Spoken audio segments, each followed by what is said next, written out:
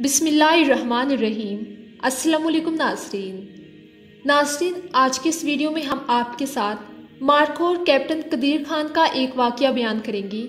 ये पाकिस्तान का वो गुमनाम हीरो था जिसने अपने मुल्क की सलामती के लिए अपने जिस्म तक को फना कर दिया। नासिन कैप्टन कदीर खान का ताल्लुक एक बहुत बड़े जिम्मेदार घराने से था। खुदा की अता करदा हर नेमत उनके पास मौजूद थी। वो चाहते तो अपनी ज़िंदगी को आराम सुकून से गुजार सकते थे। लेकिन उनके दिल में वतन के लिए बेपनाह मोहब्बत थी और इन्होंने इस आराम सुकून की ज़िंदगी को छोड़कर पाक आर्मी में शमूलियत इख्तियार की।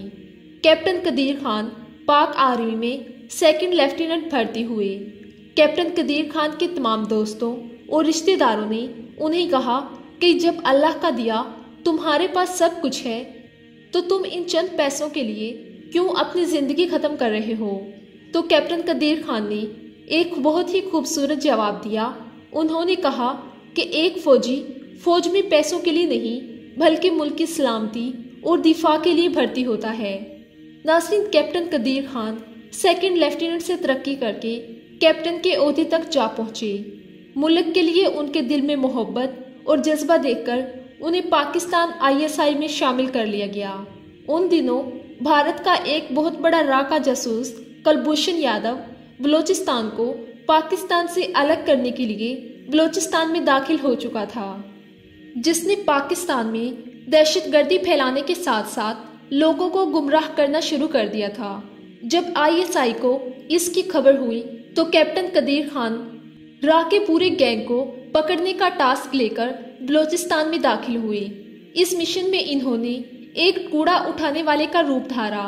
नासरिन, ये वो नौजवान था, जो नरम बिस्तर पर सोने का आदि था। आगे पीछे नौकरों की भरमार थी।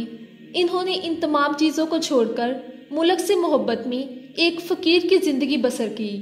सख्त सर्दी में एक फटे पुराने कंबल में लिपट कर सो जाता। कई कई दिन भूखे प्यासे बीत जाते और कई रातें खुले आसमान तले गुजर जाती।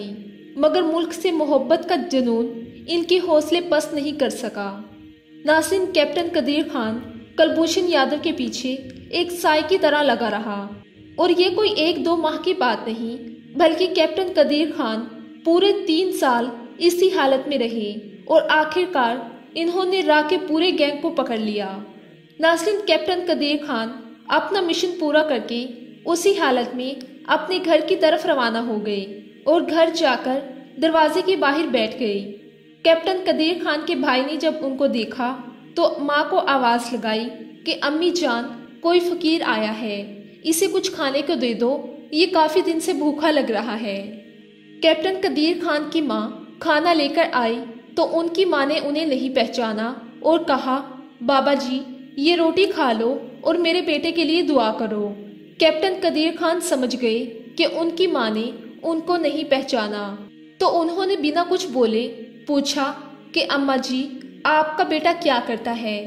तो माँ ने रोते हुए ये जवाब दिया कि, मेरा बेटा एक फौजी है। उसका कुछ पता नहीं वो कहाँ है। सालों बाद एक बार बात होती है और जब भी बात होती है तो एक ही बात बोलता है कि, अम्मी जान, अगर मैं लौट आऊँ तो ठीक है। अगर ना आऊँ तो समझ लेना कि मैंने जो खाकी वर्दी पहनते वक्त वादा किया था, वो वादा पूरा हो चुका है।